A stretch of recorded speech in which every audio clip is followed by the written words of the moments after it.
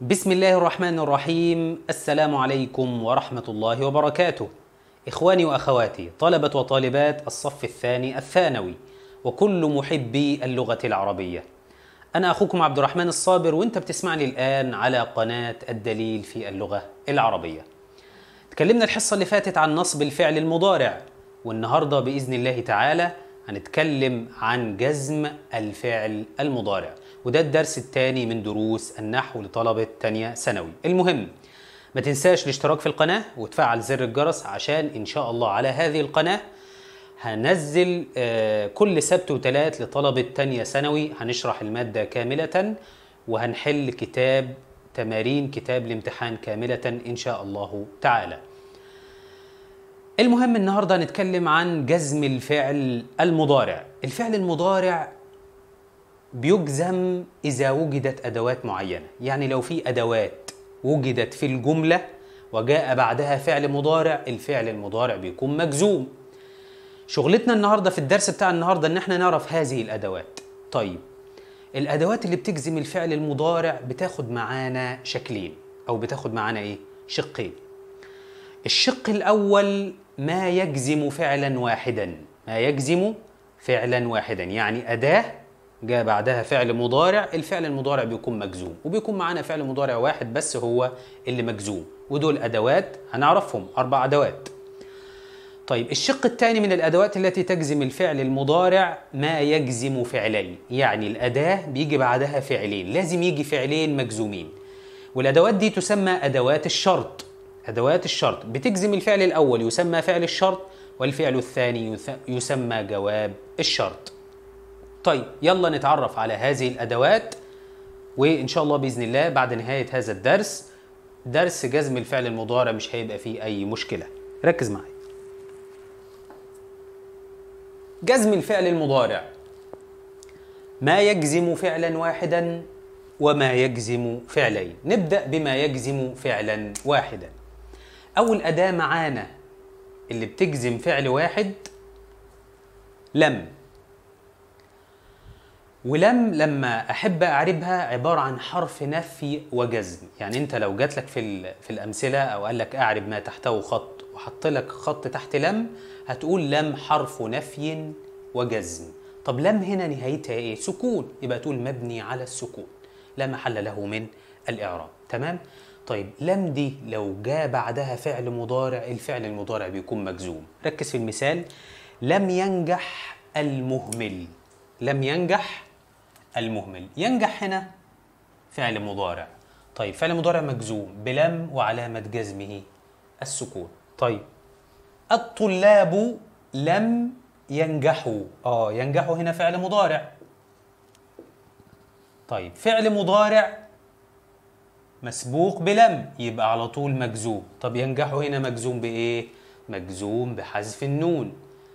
ليه؟ لأنه من الأفعال الخمسة. والأفعال الخمسة حينما تجزم تجزم بحذف النون. وهنعرفها كمان شوية.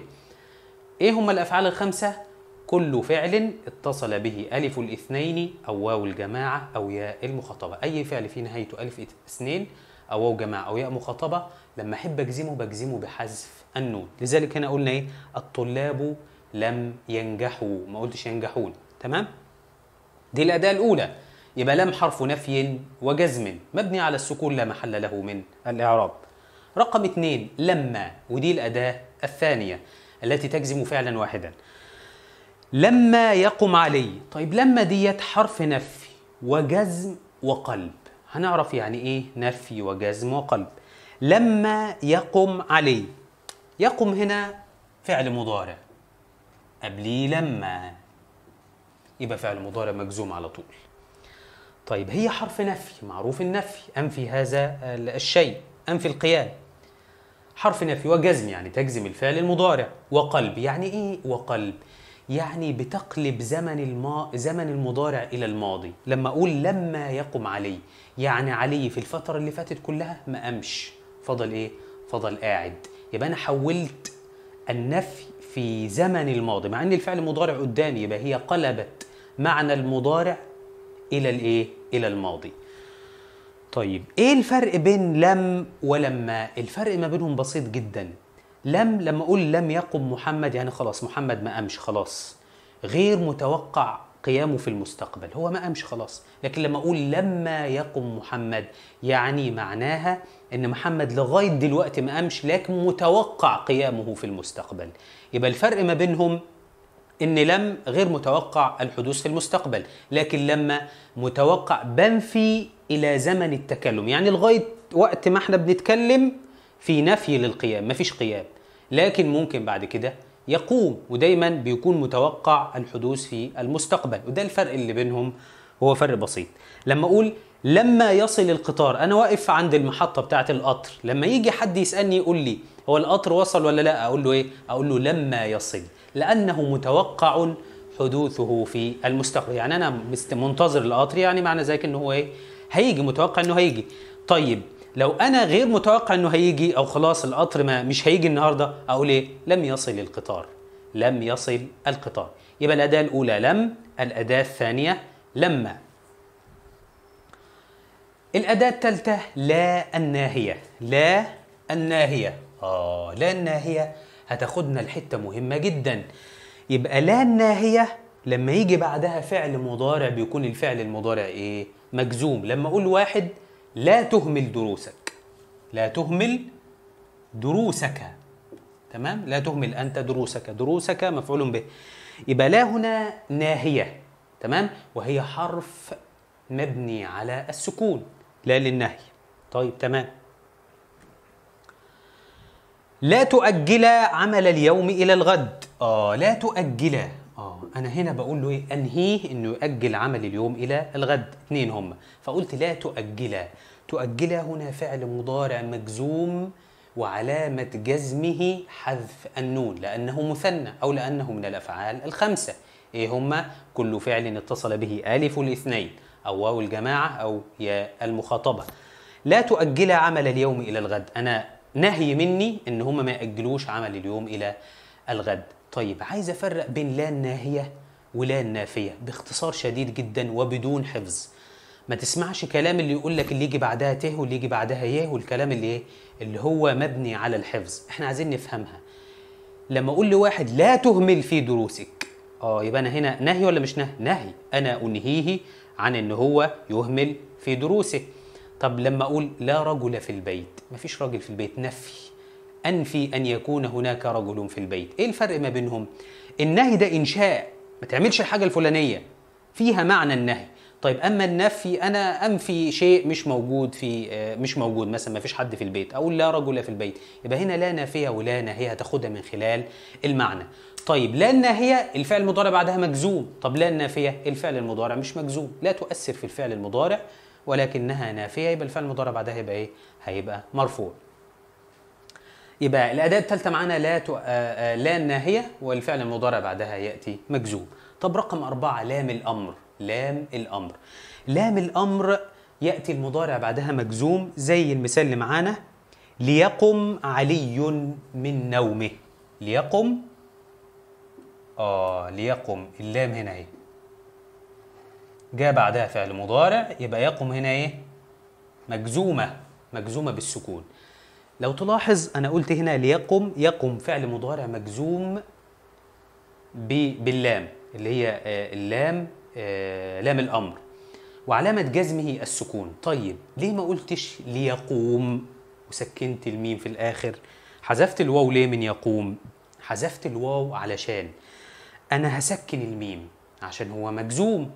طيب والواو أساسا مجزومة يبقى هيلتقي ساكنان في الكلمة. فحذفت الواو حتى لا يلتقي ساكنان. لذلك قلت إيه؟ قلت ليقم. ما قلتش ليقوم. قلت إيه؟ ليقم عشان الميم ساكنة والواو ساكنة وما ينفعش جملة كلمة واحدة يأتي ساكنان في كلمة واحدة. تمام؟ طيب وليدخلوا المسجد. وليدخلوا المسجد. طيب هنا قلت إيه؟ ليقم بالكسر اللام مكسورة. يبقى أقول إيه؟ حرف. لام الأمر عبارة عن حرف مبني على الكسر. لا محل له من الإعراب. تمام؟ ولام الأمر طبعا بتدل على الطلب ولا الناهيه تدل على الكف عن الفعل. وليدخلوا المسجد. آه لو نلاحظ هنا لام الأمر. طب يدخلوا هنا خلاص بقى عرفناها. من الأفعال الخمسة يدخلوا هنا مجزومة. بحذف النون لأنه من الأفعال الخمسة. دول باختصار الأربع أدوات اللي بتجزم فعل واحد ما فيش غيرهم. الأربع أدوات دول تحفظهم. لم ولما لا الناهية لام الأمر. دول الأربع أدوات اللي هم بيجزموا إيه؟ بيجزموا فعل واحد. بكده الحمد لله نكون فهمنا الأدوات التي تجزم فعلا واحدا. طيب ندخل بقى على الأدوات التي تجزم فعلين. الأدوات التي تجزم فعلين؟ وعايزك تركز معايا في الجزئية دي. الأدوات اللي بتجزم فعلين اسمهم إيه؟ اسمهم أدوات الشرط. اسمهم ها؟ أدوات الشرط. أدوات الشرط لازم يكون في فعل شرط وجواب شرط. طيب أدوات الشرط معايا هناخدها بالتفصيل. عندنا أول أداة معانا تجزم فعلين إن. حرف إيه؟ الحرف إن. طيب حرف إن ده تعربه إزاي؟ حرف إن لما أجي أعربه أقول حرف شرط جازم. مبني على إيه؟ السكون ما هو نهايته سكون أهو. مبني على السكون لا محل له من الإعراب. هات لي المثال بسرعة. إن تذاكر تنجح. لو تركز هنا عرفنا إعراب إن. حرف إيه؟ شرط جازم مبني على السكون لا محل له من الإعراب. طيب تذاكر فعل مضارع مجزوم بإن وعلامة جزمه السكون فعل الشرط. أو ممكن تقول فعل شرط آه، مجزوم وعلامة جزمه السكون. تمام؟ ده فعل الشرط. طيب تنجح جواب الشرط. آه يبقى هنا الأداة بتاعت إن ما ينفعش يجي معاها فعل. لو كانت شرطية ما ينفعش يجي معاها فعل واحد. لا ده لازم يجي معاها إيه؟ لازم يجي معاها فعلين. فعل الشرط وجواب الشرط. طيب. إن دي أول واحدة. من؟ من هنا مش حرف بقى. من هنا اسم. اسم شرط جازم. مبني على السكون. وبيستخدم للعاقل. يستخدم مع المين؟ مع العاقل. أقول من يسعى يحصد الثمار. طب يسعى هنا مجزومة ولا مش مجزومة؟ مجزومة لأنها فعل الشرط. طب فين جواب الشرط؟ يحصد هنا جواب الشرط. طب من يسعى يسعى هنا مجزومة إيه؟ مجزومة بحذف حرف العلة. أن الحرف المعتل حينما يجزم هنحذف إيه؟ حرف العلة. يبقى من يسعى؟ ما يجيش حد يقول لنا ما عليها فتحة اهي مش مجزومة. لا ده الجزم هنا بإيه؟ بحذف حرف العلة. من يسعى؟ يحصد الثمار. يبقى ده فعل الشرط مجزوم وده جواب الشرط إيه؟ مجزوم. ومن هنا؟ اسم شرط جازم مبني على السكون. ودايما أقول مبني على السكون في محل رفع مبتدأ. لأنها طالما اسم في بداية الجملة أي اسم في بداية الجملة بيكون إيه؟ بيكون مبتدأ وده في الغالب وده إيه؟ في الغالب. طيب الأداء اللي بعد كده ما ومهما ما ومهما. طيب ما ومهما لما أجي اعربهم أعربهم إزاي؟ أقول اسم شرط جازم. مبني على السكون. طالما أسماء يبقى في الغالب هيكونوا مبتدأ في محل رفع مبتدأ. اسم شرط جازم مبني على السكون بس ما ومهما بيستخدموا مع غير العاقل. يبقى الفرق بين من وما ومهما إن من للعاقل وما ومهما لغير العاقل. الأمثلة هتبين معانا وما أدي الأداة أداة الشرط. اسم الشرط. وما تقدموا لأنفسكم من خير تجدوه عند الله. وما تقدموا أدي فعل مضارع ندور على الفعل المضارع. لأنفسكم من خير تجدوه أدي الفعل المضارع الثاني الفعل الأولاني فعل الشرط تقدموا. مجزوم بإيه؟ مجزوم بحذف النون. ليه؟ لأنه من الأفعال الخمسة. من خير تجدوه. جواب الشرط مجزوم. مجزوم بإيه؟ مجزوم بحذف النون لأنه من الأفعال الخمسة. يعني لو كان مرفوع كنا قلنا إيه؟ تجدونه. كنا هنثبت النون. لكن هنا مجزوم بحذف النون لأنه من الأفعال الخمسة. يبقى عندنا أهو فعل الشرط وجواب الشرط. طيب مهما برضو اسم شرط جازم مبني على السكون لغير العاقل. لو في بداية الجملة وعايز اعراب أقول له في محل رفع مبتدأ. طيب مهما تقرأ تزدد ثقافة. مهما تقرأ تزدد ثقافة. يبقى تقرأ هنا مجزوم فعل الشرط. فين جواب الشرط؟ تزدد. أو حذفنا الألف بتاع تزداد ما قلناش تزداد عشان حتى لا يلتقي ها ساكنان. يبقى تزدد ثقافة. جواب الشرط. مجزوم أيضا. الأدوات اللي بعد كده متى وأيانا؟ متى وأيانا بيتكلموا عن الزمن؟ بيتكلموا عن إيه؟ عن الزمن. لذلك هنقول اسم شرط مبني على. متى مبنية على السكون؟ طب أيانا مبنية على الفتح. مبني على شوف آخر الكلمة مبنية على إيه؟ وقول مبني على السكون مبني على الفتح. طب متى هنا مبنية على إيه؟ على السكون. طب أيانا مبنية على الفتح. يبقى أقول متى اسم شرط مبني على السكون؟ طب أيانا اسم شرط مبني على الفتح. الاثنين في محل نصب ظرف زمان. يبقى لما يحط لي تحت متى؟ لما تكون شرطية تحت متى؟ خط ويقول لي أعرب يقول له اسم شرط مبني على السكون في محل نصب ظرف إيه؟ ظرف زمان. طيب يبقى هو بيتكلم عن الزمن. لذلك بيقول المثال إيه؟ متى تذاكر تنجح؟ يعني في الوقت التي الذي أنت تذاكر فيه هتنجح.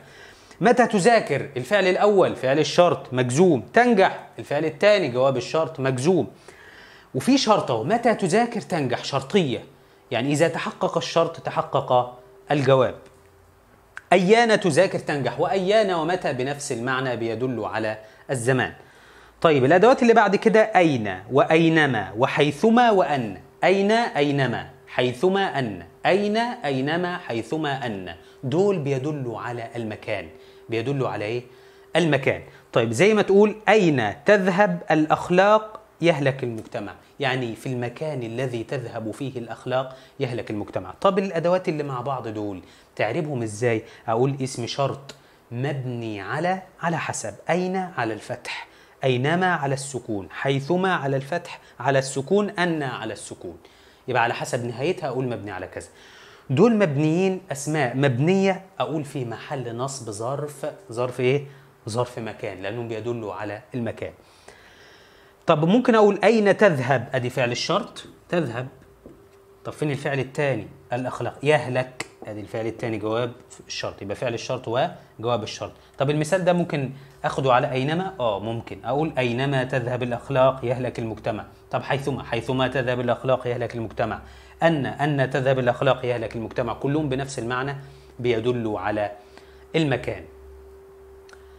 ركز معايا في باقي الأدوات. وإن شاء الله بإذن الله هتبقى الدنيا تمام. كيفما؟ كيفما اسم شرط جازم مبني على السكون في محل نصب حال. يبقى كيفما هنا بتدل على الحال.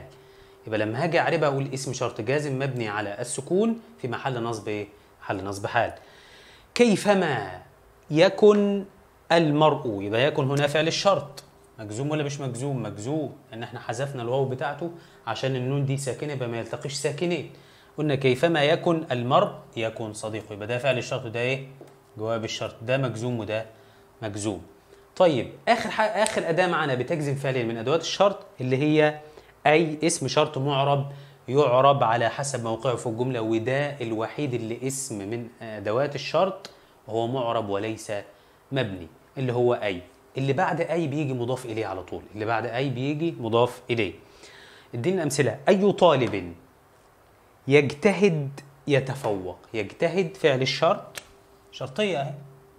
يتفوق جواب الشرط. وده عاقل. نتكلم عن طالب يعني عاقل.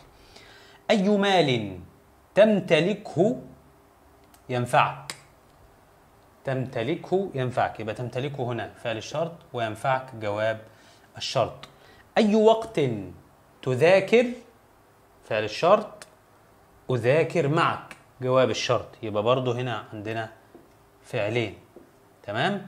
وطبعا وقت مضاف إليه. أي حاجة بتيجي بعد أي الكلمة التي تأتي بعد أي بتعرب إيه؟ تعرب مضاف إليه. أي بلدة تزورها تستفد منها. تزورها ما قلناش حذفنا الواو بتاع يزور عشان حتى لا يلتقي ساكنان. طيب تستفد منها يبقى تستفد أيضا مجزومة جواب الشرط. أي بلدة تزورها تستفد منها. يبقى هنا شرطية أهي. فعل الشرط وجواب الشرط. يبقى كده عندنا الأدوات التي تجزم فعلين. عندنا الأولى إن من إن لغير العاقل من للعاقل ما ومهما لغير العاقل أيضا. متى وأيان بيدلوا على الزمان؟ أين أينما حيثما أن بيدل على المكان. دول بيعربوا ظرف زمان ودول بيعربوا ظرف مكان. كيفما هنا بتدل على الحال أي تعرب على حسب موقعها في الجملة. بكده نكون انتهينا من الأدوات التي تجزم فعلا واحدا اللي هم الأربعة والأدوات التي تجزم فعلين اللي هم أدوات الشرط. فاضل لنا حاجة بسيطة. ناخد معانا بعض الملاحظات. هنا بيقول لي إذا انتهى الفعل المضارع بحرف صحيح والحرف الصحيح قبليه حرف معتل. يبقى في هنا حرف صحيح وقبليه حرف معتل. الحرف المعتل في الغالب أو هيكون ساكن. زي مثلا الفعل تنال. ركز معايا. الفعل إيه؟ تنال. لو تركز هنا الفعل تنال فعل صحيح الآخر. تمام؟ بس قبليه حرف معتل. الحرف المعتل ده ساكن. طب الفعل تنال ده لما أحب أسكنه لما أحب أخليه مجزوم يبقى أحط سكون هنا. آه هنا عندي حرف معتل هنا ساكن واللام الأخيرة دي ساكنة. التقى هنا ساكنان.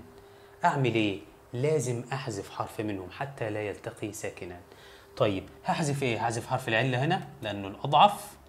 وأقول إيه؟ تنل. لذلك أقول إن تعبد الله تنل رضاه.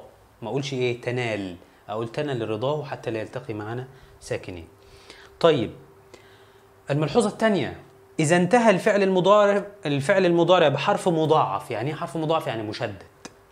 يفك التضعيف عند جزم يعني لو هو كان مشدد لما أجزمه أفك هذا التضعيف. إزاي؟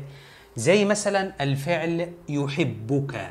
ركز كده معايا. يحبك. يحبك هنا الباء مشددة. يحبك الناس. الباء هنا مشددة. طيب. لما تحب تجزم الفعل ده هتقول إيه؟ يحببك الناس. فكيت الإيه؟ التضعيف. لذلك تقول إن تجتهد فعل الشرط يحببك الناس. الباء هنا إيه؟ ساكنة وفكينا التضعيف عشان يظهر معانا الجزم. طيب أدوات الشرط الجازمة ممكن تدخل على الماضي. هل أدوات الشرط اللي هي بتجزم فعلين في المضارع فعل الشرط وجواب الشرط مختصة بال... بال... بالمضارع بس؟ لا مش مختصة بالمضارع بس. ممكن تدخل على الماضي؟ آه ممكن تدخل على الماضي. طب أقول إيه ساعتها؟ أقول فعل الفعل الماضي ده أقول فعل شرط مبني على الفتح مثلا في محل جزم فعل الشرط. زي المثال اللي قدامنا. ذاكر إن ذاكر علي نجح. آه لو تركز في ذاكر ذاكر ده فعل ماضي.